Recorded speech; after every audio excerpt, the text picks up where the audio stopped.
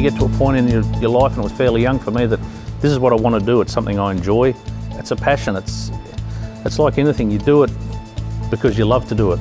You never want to take on a job because you have to do it. As much as you may need to live from day to day, you've really got to strive for the job that you want to do, that you enjoy doing, that you get up in the morning and go, oh yeah, great, another day. They'll learn a basic broad spread of automotive technologies from suspension, engines, brakes, transmissions, and actually this year they've introduced here a panel beating section.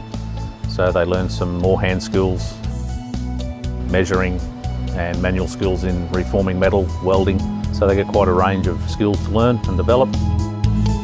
gives them credit, but it mainly gives them skills that, that gives them a head start for an employment that they probably wouldn't get if they didn't do the course. Then they'd be going into an employer cold and the employer's got no idea where they're at. At least having done the course, they can produce either a written reference from the teachers and they get an advantage that they've, they've done sometimes 12 months, sometimes two years. They need basic maths.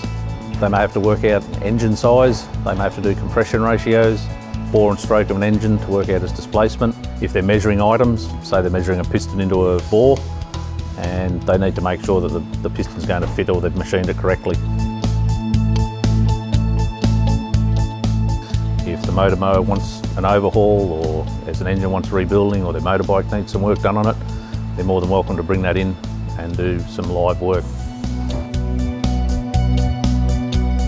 You've got to try it. If, you, if you're thinking about it, try it. You've got nothing to lose.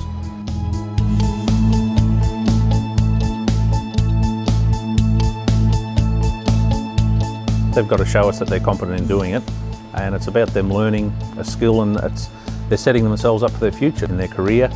Here if you've got the trades incentive, you get to do hands-on experience, build things and create things, repair things. They're hands-on for the tradespeople, can't be beaten.